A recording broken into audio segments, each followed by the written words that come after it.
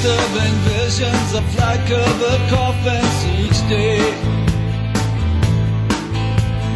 United we stand while they're warring our future away. Planning for the delegation started about six months ago, and we left July 19th, uh, making a stop in London from there on to Tehran. And we were there through the end of the month, uh, having come back this past Monday, the 31st, the 30th. We had a press conference on the 31st. It was the People's Delegation for Peace, sponsored in part by Virginia Anti-War Network, uh, Richmond and Defender, and campaigns against sanctions and military interventions in Iran. And how many people in the delegation? There were five of us. Were there any women? Tyler Madison from Richmond. Um, she's an environmentalist. Uh, she was accompanied us. So, what did she have to do anything special when she was over there? Well, there's, there's in some places, yes, she was asked to put on. She had to wear a headscarf at all times. When we went to some of the more sacred sites, she had to wear a, a full veil. Not she wasn't required to wear a chador. On one or two places, there's a separate men, men's entrance and women's entrance. At the prayer, she was with the women. Uh, I was with the men. Um, that's you know partly based on Islamic tenets.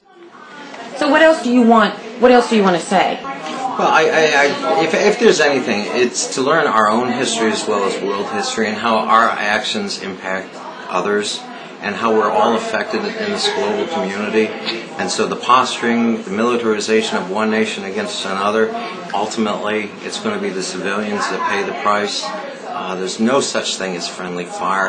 The, the ratcheting up of the war machine, the rattling of sabers, you know, all it's going to lead to is more death and destruction. And if anything, it was the delegation was about dialogue and avoiding that the you know the the clash that some would have us you know end up in. So, they had said something about just bringing it back and telling people.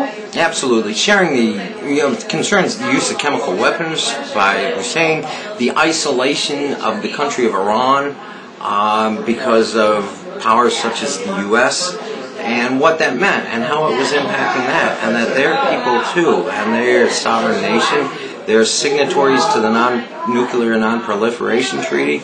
There's a number of things that it's important, you know, we move beyond the media filters and the political rhetoric to get enough, get the rest of the picture, the rest of the story, and then make an intelligent decision. So, how are you going to get the message out there? Just, just like this, we're meeting one-on-one, meeting in church groups, meeting with uh, individuals, um, politicians, whomever. However, I think you know, as, as the church says, will, will not be silent. You know, be, be, because by remaining silent, become complicit. You know, there's too much at stake. Because if it's if it's not me, who? And I would challenge everybody else to the same question. If not you, what? When? So, if somebody wants you to come and speak, would they contact Vaughn? Uh, certainly, or they can contact or- me through the Kent Norfolk Catholic Worker. Um, my email is dissentingsoldier at yahoo.com. D I S S E N T I N G S O L D I E R at yahoo.com. I'm